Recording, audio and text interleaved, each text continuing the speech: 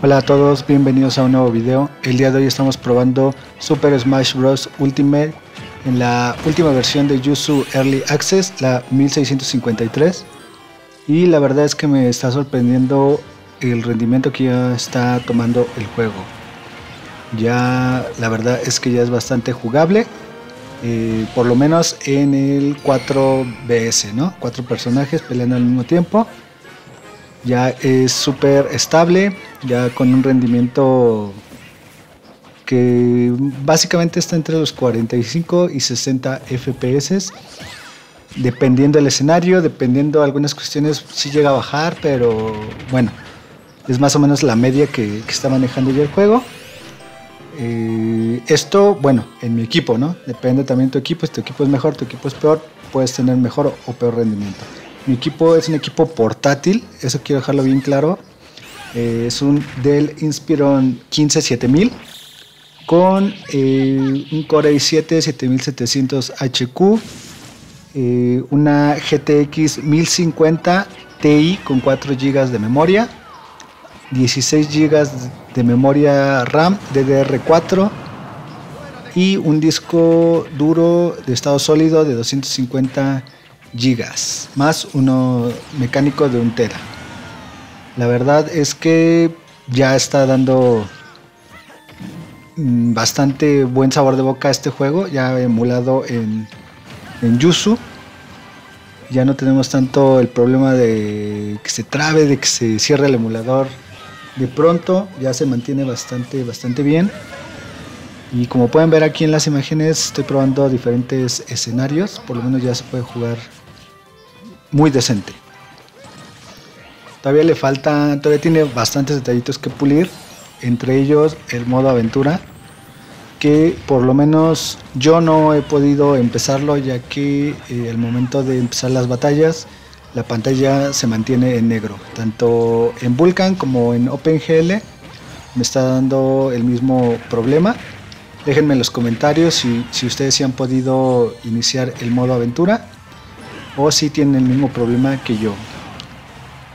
Ya no hay problema con eh, la carga del web applet, ya digamos que lo carga y este, continúa el juego. Ya el rendimiento casi en todos los escenarios es muy similar, este, un buen rendimiento. ¿Qué más? ¿Qué más le falta por ahí? Pues yo creo que los tiempos de carga. Tiempos de carga son los que se han venido manteniendo bastante pesados por ahí si alguien lo tiene eh, original en la Switch, pues también puede comentar si los tiempos de carga son así, aunque yo me imagino que no. La verdad que sí, digo, no son excesivos, pero la verdad que a veces sí se tarda bastante eh, en continuar la partida. Entonces ya saben, déjenme sus comentarios a ustedes qué tal les funciona. Les comento, mi equipo eh, pues ya, ya es bastante antiguo comparado con un equipo gamer de gama media actual, pues ya, ya la verdad es que ya no está dando la talla. Aún así, ya hay con algunos ajustes, pues ya uno puede seguir disfrutando de, este gran juego y bueno, de otros más que han sacado para la Switch. Ahorita también uno de los problemas yo creo es un poquito la carga de los shaders ya una vez que en el escenario y los personajes que están eh, la pelea ya terminan de cargar los shaders, ya más, más o menos la cosa se estabiliza. Pero yo creo que los primeros que serán 5 o 10 segundos en lo que, que, está empezando el combate es donde notamos más ahí eh, lo pesado. Y tanto, bueno, a mí por lo menos tanto en Vulkan como en OpenGL me, me funciona similar. En OpenGL un, poquito, son unos FPS de pronto menos, pero básicamente es el mismo rendimiento. la ventaja que tenemos ahí es que pues, ya el shader caché se mantiene.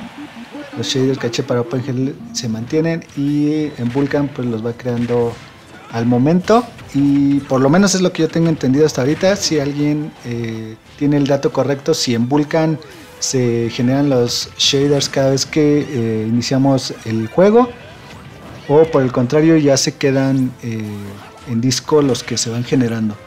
Porque bueno, yo tenía entendido que en Vulkan no se, no se quedaban los shaders que se iban generando, sino que se tenían que, ir generando cada vez que, uno tenía la partida. Y bueno, como les comento, por lo menos eh, cuatro jugadores ya se puede jugar casi perfecto. Eh, ya eh, dos jugadores, ya ahí no hay problemas. Juega 60 FPS sin problema, por lo menos a mí en mi equipo. Y pues yo creo que ya no falta más que unas cuantas versiones para que del emulador para que ya este el juego pues se corra ya digamos más o menos perfecto. Lo ideal ya es pues probar eh, el Smash para 8 para ver qué tal ahí. Voy a subir después un video a ver probando ese modo y que ya en el futuro se pueda jugar el modo aventura de forma correcta, ¿no? Como les comento en este momento a mí me da una pantalla negra. Y bueno, pues espero que les haya gustado este video. Denle like, por favor, suscríbanse, no les cuesta darle tantito ahí al botón, no les quita más que un segundo, me ayudarían mucho. Y también pues, ustedes van a seguir recibiendo cada vez mejores videos. También denle like, por favor, compartan el contenido o por lo menos ahí pasen la voz del canal para así llegar a más, personas y pues que estemos eh, cada vez creando mejor contenido, tengamos mayor interacción con ustedes. Y pues ya casi llegamos a los mil suscriptores. Esperemos poder cumplir la meta pronto y seguir creciendo. Y bueno, pues esto sería todo y nos vemos en el próximo video.